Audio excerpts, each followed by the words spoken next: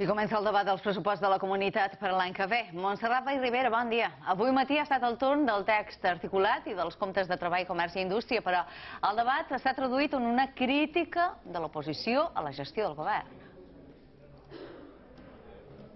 El grup Popular i el PI han qualificat de fracàs aquesta legislatura pel fet que l'executiu no hagi aconseguit un nou règim especial, un nou sistema de finançament autonòmic i la condonació del deute per part de l'Estat. A més, els populars han advertit al govern dels signes de l'entiment econòmic i han apuntat que és impossible que el 2019 acabi amb un creixement del 2% tal com preveu el projecte de llei de pressupost. Ciutadans i els populars també han criticat que la partida pressupostària de l'oficina anticorrupció es dobli l'any que ve. Per contra, els grups dels acords pel canvi han defensat aquests comptes, això sí, amb alguna reserva per part de Més per Menorca. Els socialistes, Podem i Més per Mallorca han subratllat les fites aconseguides, com per exemple eliminar el copagament dels medicaments i destinar 1.000 milions d'euros en educació.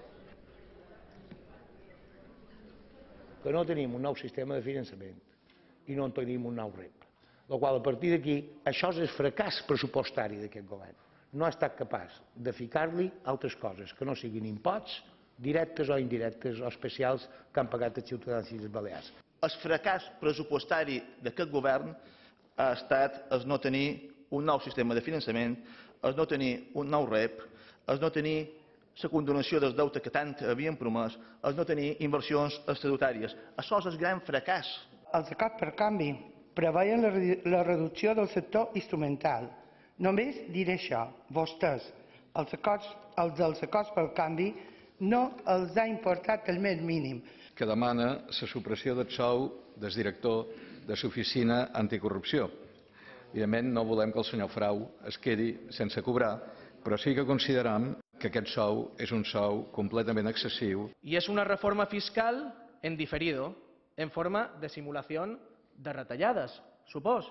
Perquè si volen retallar 200 milions d'euros, hauran de dir, sigui ara o sigui el 2020, a on volen retallar. La previsió de creixement de les Balears està per damunt de la previsió de creixement de l'Estat.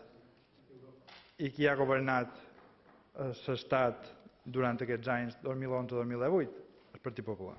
No és el pressupost que es mereix aquesta comunitat, aquesta comunitat es mereix molt més, però eh, sí que dona resposta eh, amb els recursos que té a disposició les necessitats, les prioritats del nostre país. Aquest govern, agrària no, ha complert amb els acords per canvi i en els programes que els diferents partits que donen suport al govern se van presentar per governar aquesta comunitat. Això és indubtable.